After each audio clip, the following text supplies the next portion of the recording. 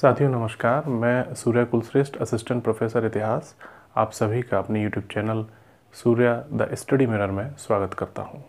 साथियों इस चैनल के माध्यम से मैं आपको अपने पंद्रह वर्षीय अनुभव से एकत्र किए गए सटीक व साक्ष्यपरक नोट्स आपके साथ साझा करूँगा जो कि आपको टीजीटी, पीजीटी, सिविल सेवा असिस्टेंट प्रोफेसर यूजीसी नेट तथा साथ ही विश्वविद्यालय परीक्षाओं में भी समान रूप से यह उपयोगी रहेगा।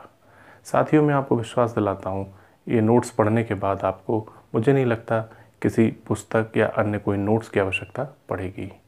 आइए, आपका अधिक समय न लेते हुए अपनी इस वीडियो में क्या है खास, ये बताता हूँ। तो साथियों, इस वीडियो में मैं आपको इतिहास का एक सामान्य परिचय दूँगा। यानी कि इतिहास की प्राचीन भारतीय इतिहास, मध्यकालीन भारतीय इतिहास और आधुनिक भारतीय इतिहास, विश्व इतिहास, इन सभी इतिहासों की श्रृंखलाएँ यूट्यूब चैनल पर प्रेषित करने से पहले मैं आपको इतिहास का एक सामान्य परिचय देना उचित समझता हूँ, ताकि आपको सभी को ये मालूम हो कि इतिहास का अर्थ जनक, परिभाषा, महत्व, दोष, भाग, अंग, ये क्या है? हमें एक इतिहास प्रेमी होने के नाते, एक इतिहास का शिक्षक, छात्र होने के नाते हमें ये, इन बातों की जानकारी होनी चाहिए। तो इस वीडियो में आप आज अर्थ, इतिहास का अर्थ आप देखेंगे। इसके बाद परिभाषा को देखेंगे। क्या है इसकी सटीक परिभाषा? फिर जनक, यानी कि पिता, जैसे बोलते हैं, इतिहास का पिता, इसके बारे में देखेंगे। इसके बाद आप इस वीडियो में प्राचीनतम उल्लेख, यानी कि इतिहास शब्द का या हिस्ट्री शब्द का प्राचीनतम उल्लेख कहाँ किया गया, ये देखना है। इसके बाद गुण, यानी कि महत्व, दोष, इतिहास के दोष भी हैं साथियों। दोष का भी आप अध्ययन करेंगे इसमें। और भाग या अंग। तो आज इस वीडियो में आप लोग इतिहास के परिचय के अंतर्गत ये सब पढ़ने जा रहे हैं, जो कि बेसिक रूप से आपको पता होना चाहिए। तो साथियों, इतिहास का अर्थ क्या है? इतिहास जो शब्द है, वो संस्कृत भाषा के इति ह आस। तीन अक्षरों से मिलकर बना है। किस भाषा के? संस्कृत। इति का अर्थ है ऐसा, ह का अर्थ है निश्चित रूप से,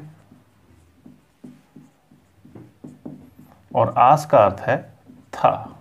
तो इतिहास का अर्थ हुआ ऐसा, निश्चित रूप से था, यानी कि हुआ था, घटित हुआ था। इसके बाद हम परिभाषा देखते हैं।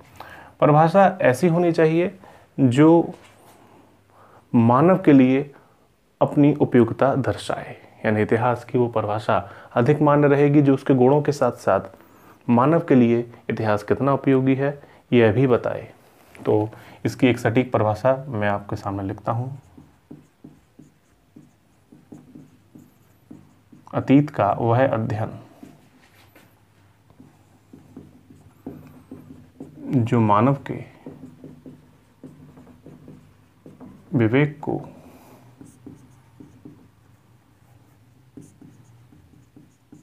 जागृत करता है, जिससे वह वर्तमान में दायित्वबोध तथा अपने भविष्य का।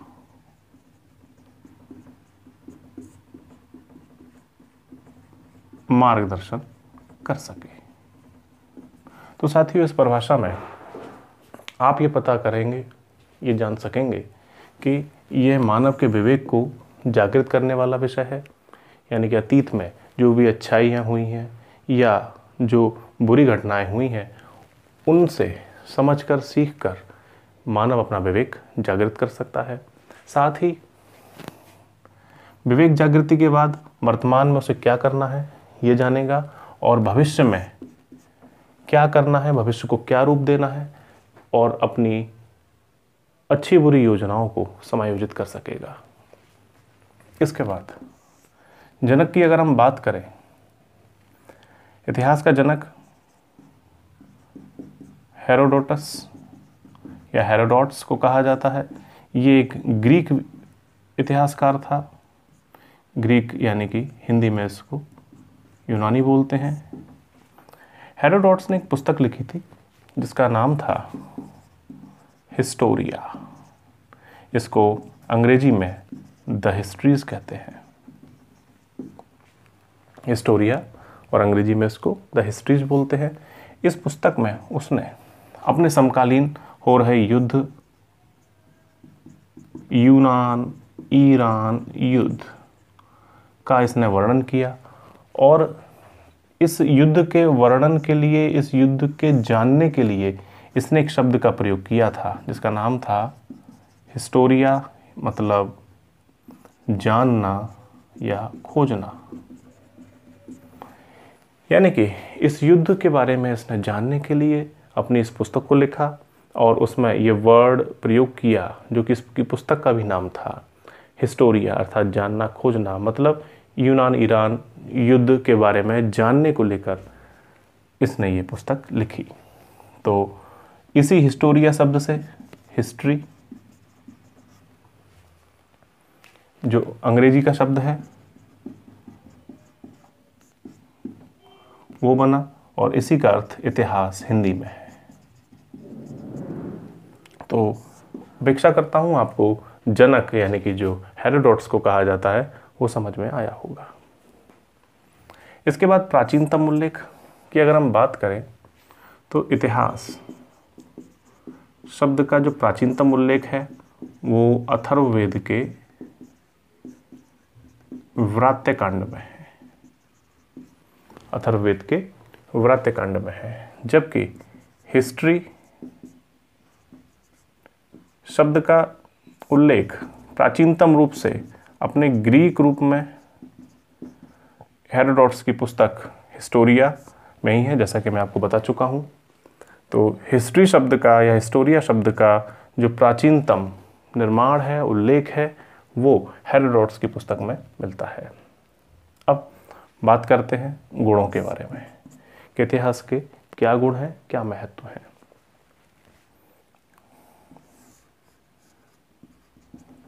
इतिहास का जो पहला गुण है, वो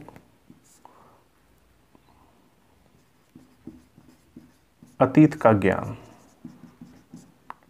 इतिहास के माध्यम से हमें अपने अतीत का ज्ञान पता चलता है और इसमें आप कह सकते हैं, सभ्यता, संस्कृति।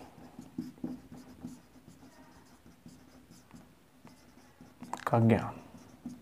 इसको आप इस तरह से भी अच्छे रूप में लिख सकते हैं। अतीत का ज्ञान या सभ्यता या संस्कृति का ज्ञान हमें इतिहास के माध्यम से होता है। ये इसका सर्व प्रमुख गुण या महत्व है। दूसरा, इतिहास का गुण है विवेक,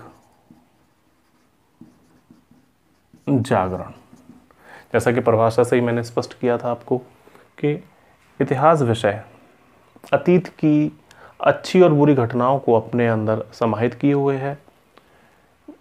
इनके अध्ययन से क्या ये अच्छी थी या बुरी थी? तो इनके अध्ययन से मानव वर्तमान में अपना विवेक जागृत कर सकता है और ये अपने वर्तमान में या भविष्य में अपनी जो योजनाएँ, अपनी जो कार्यशैली है, उसमें परिवर्तन ला सकता है, सकारात्मक परिवर्तन। तीसरा निरंतरता का वाहक। यानी कि इतिहास निरंतरता का वाहक इसलिए माना जाता है कि सिंधु सभ्यता, वैदिक सभ्यता में जो भी रीति रिवाज, परंपराएँ अपनाई जा रही थी, जाती थीं, आज उनको हम हो बहू या थोड़े से परिवर्तन के बाद अपनाते हैं। जैसे सिंधु सभ्यता में महिलाओं द्वारा सिंदूर लगाना, नेल पॉलिश का यूज़ करना जूड़ा बांधना, ये सारी चीज़ें वहाँ प्रयोग में लाई जाती थी और आज भी महिलाएँ प्रयोग में ला रही हैं। वहीं अगर बात करें, दूसरा वैदिक उदाहरण अगर देखें, वैदिक काल का यज्ञ हवन किया हो, किया जाता था, वो परंपरा आज भी हमारे यहाँ प्रचलित है। तो इतिहास वो विषय है जो हमें बताता है कि ये घटना, ये कार्य अतीत में होता था और आज भी उन्हें हम किसी परिवर्तन के बाद या यूँ ही प्रक्रिया में लाए हुए हैं। चौथा, सामाजिक नियमों का आधार।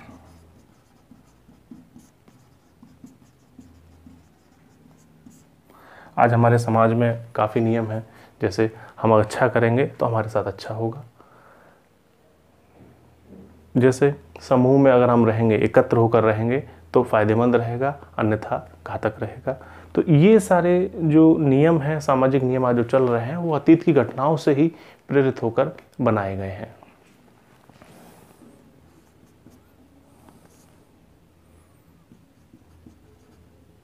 अन्य विषयों के अध्ययन में सहायक। इतिहास अन्य विषयों के अध्ययन में भी सहायक है। आप भूगोल पढ़ रहे हो, समाजशास्त्र पढ़ रहे हो राजनीति शास्त्र पढ़ रहे हो तो आपको इतिहास की थोड़ी बहुत मदद लेनी पड़ेगी। जैसे अगर आप राजनीति शास्त्र का अध्ययन कर रहे हैं तो उसमें विभिन्न विचारक हैं। वो विचारक इतिहास में जन्मे थे और उन्होंने अपनी एक विचारधारा वहाँ दी थी। तो इतिहास में उस विचारधारा का विशेष महत्व तो रहा होगा और वही विचार, वही विचारधारा राजनीति शास्त्र में भी आपके लिए, पढ़ने के लिए रख दी गई। और अगर अन्य विषय जैसे समाजशास्त्र भी वही विचारक हैं, वही विचारधारा है जिन्होंने इतिहास में अपना नाम किया और एक प्रभाव में रही और फिर यही विचारधारा आप सभी के समक्ष समाजशास्त्र या अन्य रूप में देखी गई। भूगोल की बात करें तो जलवायु के बारे में बताना हो या हमें कहीं किसी क्षेत्र विशेष के खान पान के विषय में बताना हो तो हमें वहाँ का इतिहास देखना होता है कि आखिर वहाँ क्या क्या हुआ कैसे कैसे होता था, जो भी हम वहाँ के क्षेत्र का एक पेनोरमा बताना चाहते हैं। तो उसके लिए भी हमें इतिहास की आवश्यकता है। नक्षत्र के बारे में जो ज्ञान था, ये तो काफ़ी विशेष महत्व तो है इतिहास का भूगोल के लिए कि नक्षत्र के बारे में हमें प्राचीनतम जानकारी इतिहास से ही प्राप्त होती है। आर्यभट्ट ब्राह्मेर ब्रह्मगुप्त, ये जितने भी खगोलविद हुए, उन्होंने भूगोल के इन्हीं नक्षत्रों के बारे में पहली बार बताया था। तो अन्य विषयों के अध्ययन में भी ये सहायक है। अगला देखें तो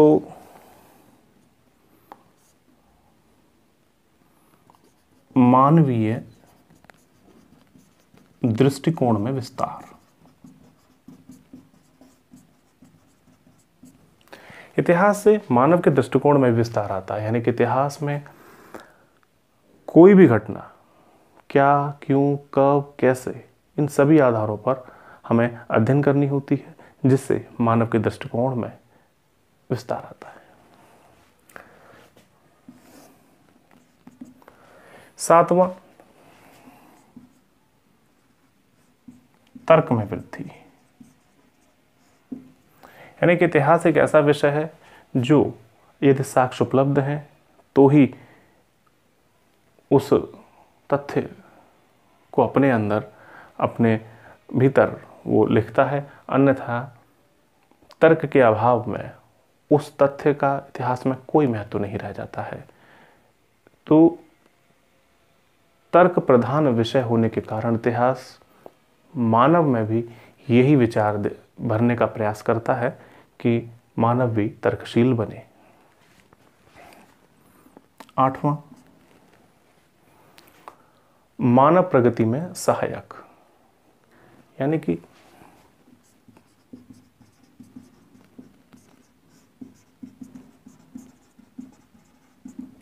इतिहास मानव प्रगति में सहायक कैसे है? इतिहास में विभिन्न शासकों, सभ्यताओं, संस्कृतियों हर एक इतिहास में उपलब्ध व्यक्ति विचार ने क्रमशः प्रगति प्राप्त की। जैसे कोई सभ्यता है, वो प्रगति प्राप्त करती है। कोई शासक है धीरे धीरे अपने साम्राज्य का विस्तार करता है, अपनी योजनाएँ आदि का प्रचलन करता है। तो वहाँ से हमें ये सीखने को मिलता है कि हमें इतिहास में इन्हीं तरीकों की तरह प्रगति के लिए आगे बढ़ते रहना चाहिए। तो साथियों, ये मैंने आपको आठ इतिहास के गुण बताए। अब बात करते हैं दोषों की, कि इतिहास के क्या दोष हैं। तो एक इतिहास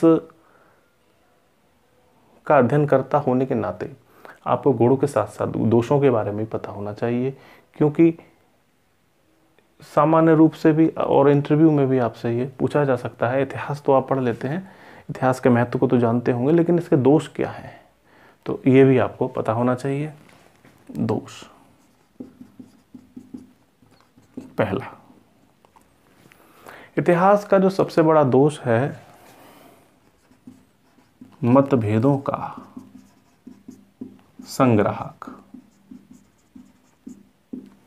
इतिहास में बहुत से ऐसे घटनाएँ हुई हैं, विचार हैं, जिससे वर्तमान में यदि उनको देखा जाए तो मतभेद होने की पूरी संभावना रहती है। जैसे, बरसाई की संधि। उसी संधि की शर्तों को तोड़ने के लिए हिटलर ने अपने प्रयास शुरू कर दिए और वो प्रयास इतनी गंभीरता और इतने वेग से किए गए कि द्वितीय विश्व युद्ध के दरवाजे पर विश्व आ खड़ा हुआ। साथ ही और भी उदाहरण हैं, जैसे भारत पाकिस्तान के बारे में। आज भी कहते हैं कि विभाजन किसने कराया और वहीं कई धार्मिक कोई कारण देता है, कोई राजनीतिक देता है तो ये मतभेद हमें इतिहास के गर्भ में देखने को मिलते हैं। दूसरा कहीं कहीं साक्ष्य या तथ्यों का अभाव। कहीं कहीं साक्ष्य या तथ्यों का अभाव। इतिहास में ये चीज़ बहुत देखी गई है कि इतिहास में कहीं कहीं साक्ष्य या तथ्य है ही नहीं। जैसे छात्रों ने काफ़ी बार मुझसे मेरे फेसबुक पेज पर पूछने का प्रयास किया कि कलिंग युद्ध के समय अशोक वहाँ पर किस शासक से लड़ा था? तो साथियों, इस प्रश्न का उत्तर कहीं सटीक रूप से है ही नहीं। तो कोई साक्ष्य नहीं प्राप्त हुआ है तो इस पर कोई भी तथ्य कह पाना मुश्किल है। वहीं हम बात करें कुषाण काल से पहले की पाटलिपुत्र में वहाँ किस राजवंश का शासन था? तो सटीक इसका भी कोई उत्तर प्राप्त नहीं है। अन्य भी उदाहरण हैं जैसे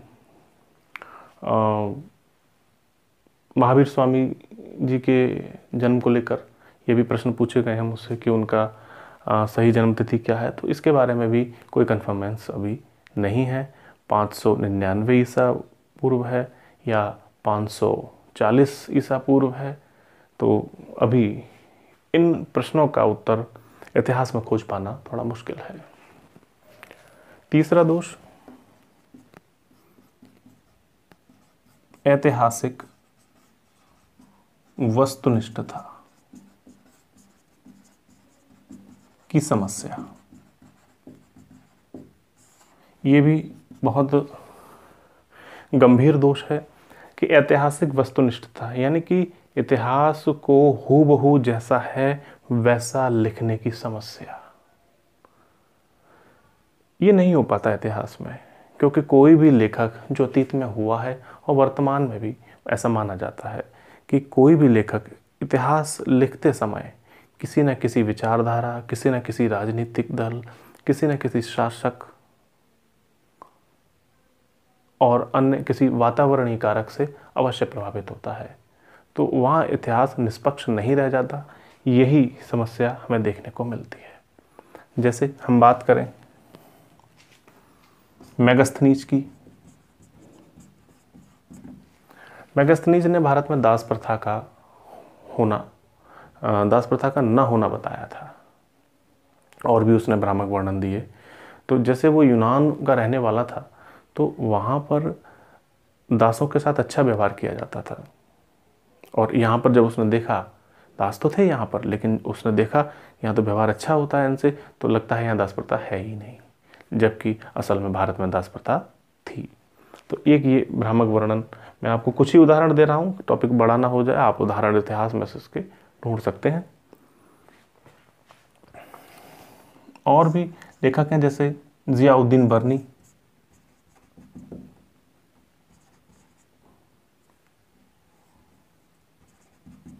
जियाउद्दीन बर्नी। जियाउद्दीन बर्नी ने मोहम्मद बिन तुगलक की धार्मिक नीति की बड़ी आलोचना की है और उसका अतिशयोक्तिपूर्ण वर्णन नकारात्मक रूप से भी किया हुआ है, क्योंकि वह कट्टर मुसलमान था, जबकि मोहम्मद बिन तुगलक हिंदू, मुस्लिम या अन्य धर्मों को बराबर मानकर अपना शासन प्रशासन चलाता था। तो इस प्रकार के कई उदाहरण आपको देखने को मिल जाएँगे कि जहाँ पर लेखक ने वातावरणीय कारकों से प्रभावित होकर इतिहास का लेखन किया है। तो साथियों, आपने अभी गुण दोष का ये अध्ययन किया और इसके बाद हम अब देखते हैं इतिहास के भाग या अंग के बारे में। इसके बारे में छात्रों को बहुत ज़्यादा कन्फ्यूज़न रहता है कि इतिहास के भाग प्राचीन भारतीय इतिहास, मध्य भारतीय इतिहास, आधुनिक भारतीय इतिहास ये सब होते ऐसा नहीं है ऐसा, ये भाग नहीं होते हैं। ये तो हम भारत के अनुसार देख रहे हैं। तो आइए देखते हैं इतिहास के कितने भाग हैं या कितने अंग हैं। अंग या भाग। तो इतिहास के कितने अंग हैं या भाग? ये देखते हैं। इतिहास का पहला भाग है प्रागैतिहासिक काल। या प्रागैतिहासिक प्रागैतिहास भी बोल सकते हैं, लेकिन चूँकि हम कालबद्ध का अध्ययन करते हैं तो हमने काल यहाँ जोड़ दिया है। आद्य ऐतिहासिक काल और तीसरा ऐतिहासिक काल। प्रागैतिहासिक काल आद्य ऐतिहासिक काल और ऐतिहासिक काल, इन कालों की क्या परिभाषा है, वो मैं आपको इस कॉन्सेप्चुअल तरीके से बताता हूँ। यानी कि लिपि, पढ़ी और उत्खनन, इसको हम खुदाई भी कहते हैं। तो प्रागैतिहासिक काल में लिपि का प्रचलन नहीं था, जिस कारण वो पढ़ी भी नहीं गई होगी। और इस काल का अध्ययन प्रमुखतः उत्खनन या खुदाई पर आधारित है। इसके बाद आध्यात्मिक काल। इसके बारे में अगर बात करें तो परिभाषा ये बनेगी, इस काल में लिपि थी, लेकिन वो पढ़ी नहीं गई, और इसका भी अध्ययन मुख्य रूप से उत्खनन पर ही आधारित है। लिपि इस काल में देखते हैं।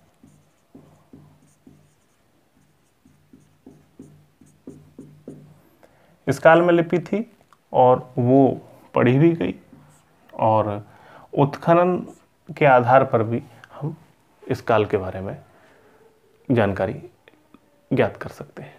यानी कि वह काल जिसमें लिपि थी और उसका पढ़ना भी संभव हुआ तथा उत्खनन के आधार पर भी हम इस काल के बारे में जान सकते हैं। इसका अगर हम टाइम पीरियड देखें तो 25 लाख ईसा पूर्व से तीन हज़ार ईसा पूर्व तक। ये वाला काल तीन हज़ार ईसा पूर्व से 600 ईसा पूर्व तक और ये 600 ईसा पूर्व से अब तक। या कहीं कहीं इसको उन्नीस भी दिया है, पाठ्यक्रमों में अधिकतर ये उन्नीस ईस्वी ही दिया हुआ है। अब इस काल का पुनः तीन भागों में विभाजन है, यानी कि पुरा पाषाण काल। इस काल को पाषाण काल भी कहते हैं, क्योंकि पत्थरों का यहाँ व्यापक रूप से प्रयोग हुआ था। पुरा पाषाण काल। दूसरा, मध्य पाषाण काल। और तीसरा, नव पाषाण काल। ठीक? पूरा पाषाण काल पुनः तीन भागों में विभक्त रहा।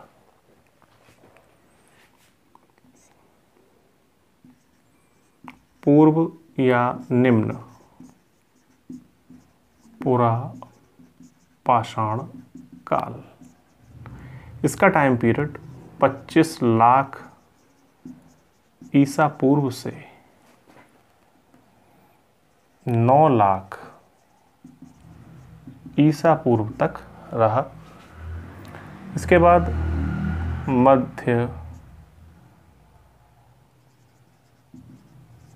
पूरा पाषाण काल इसका टाइम पीरियड 9 लाख ईसा पूर्व से।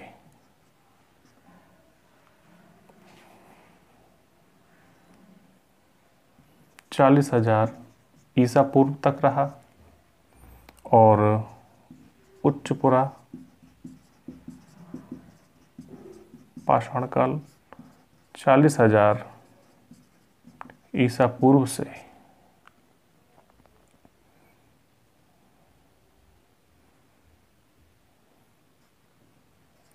दस हज़ार ईसा पूर्व तक रहा।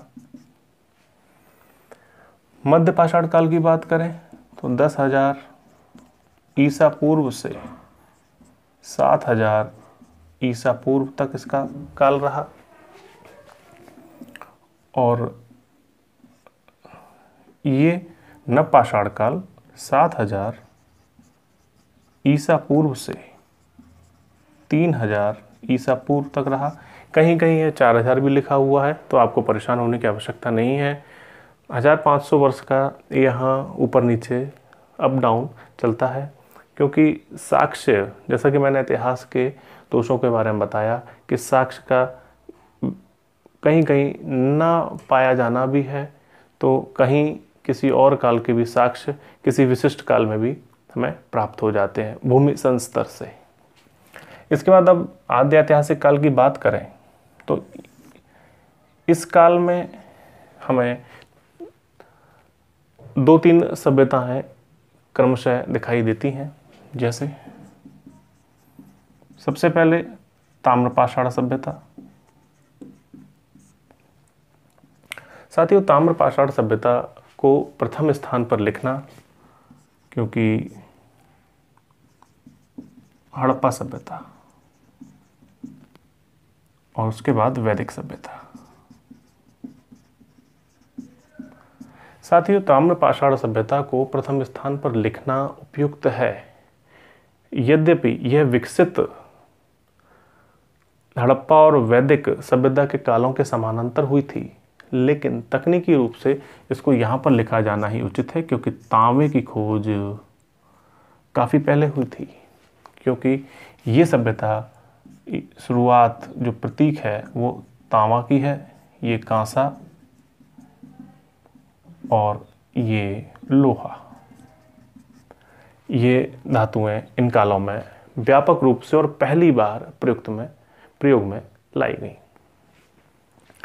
तो इस काल में तांबे का और पत्थर का प्रयोग होता था, जिस कारण इसको ताम्रपाषाण सभ्यता कहा गया। इसका काल तीन हज़ार ईसा पूर्व से लगभग 700 ईसा पूर्व के आसपास है जोरवे संस्कृति तक भी इसके साक्ष्य मिले हुए हैं। अब अगली सभ्यता, लगभग 2800 ईसा पूर्व से 1750 ईसा पूर्व तक और ये 1500 ईसा पूर्व से 600 ईसा पूर्व तक हमें वैदिक सभ्यता के साक्ष्य प्राप्त होते हैं। अब इसके बाद हम इसको देखें। तो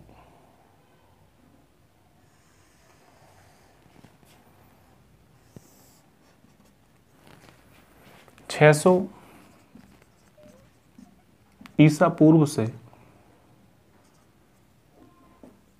750 ईसा पूर्व तक का एक टाइम पीरियड हम इसमें से बाहर निकाल सकते हैं, क्योंकि कहीं कहीं विश्वविद्यालय परीक्षाओं में केवल इतने ही भाग को प्राचीन भारत के रूप में जो राजनीतिक इतिहास है वो इतना ही दर्शाया गया है, लेकिन चूँकि वह राजनीतिक है तो उपयुक्त है। इसके बाद 750 सॉरी ईस्वी। ईस्वी से 1707 ईस्वी और 1707 ईस्वी से आप 1964 कह सकते हैं या अब तक का भी प्रयोग कर सकते हैं। एक व्यापक दृष्टिकोण अब तक ठीक रहेगा, लेकिन एक औपचारिक रूप से अधिकतर इतिहास का सिलेबस 1964 तक ही हुआ करता है। तो साथियों, इस काल को बोला जाता है मध्यकालीन भारतीय इतिहास। इस काल को बोला जाता है आधुनिक, भारतीय इतिहास। और यहाँ से लेके ये संपूर्ण काल विश्वविद्यालय परीक्षाओं को छोड़कर, यहाँ से लेके इतना संपूर्ण काल प्राचीन भारतीय इतिहास कहा जाता है, जिसमें 25 लाख ईसा पूर्व से लेके 750 ईस्वी तक का संपूर्ण इतिहास रखा जाता है। तो अपेक्षा करता हूँ साथियों कि आपको इतिहास के अंग या भाग समझ में आए होंगे। आपको इतिहास के अंग या भाग के रूप में ये नहीं कहना है कि प्राचीन भारतीय इतिहास, मध्यकालीन भारतीय इतिहास और आधुनिक भारतीय इतिहास। इतिहास के अंग या भाग इस स्तर पर आपको बताने हैं। प्राग इतिहास आद्य इतिहास और एक इतिहास, ऐतिहासिक काल। तो आज की वीडियो में साथियों बस इतना ही। अगली वीडियो में मैं आपको मध्यकालीन भारतीय इतिहास के बारे में, एक टॉपिक के बारे में आपको बताऊँगा। तो आपको ये वीडियो कैसी लगी, अवश्य बताएँ कमेंट बॉक्स में। साथ ही अपनी प्रतिक्रियाएँ भी अवश्य दें। ताकि मैं उनके आधार पर अपनी वीडियो को और बेहतर और आपके लिए अधिक उपयोगी बना सकूँ। धन्यवाद।